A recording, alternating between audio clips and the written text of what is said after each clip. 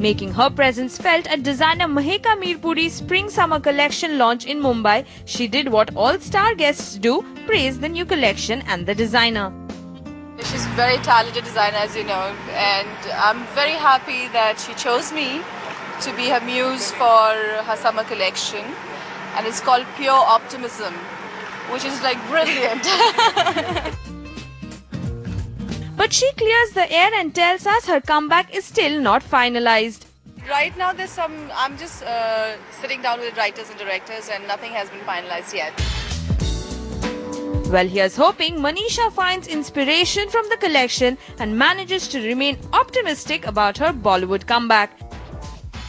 In Mumbai, Amrita Panja.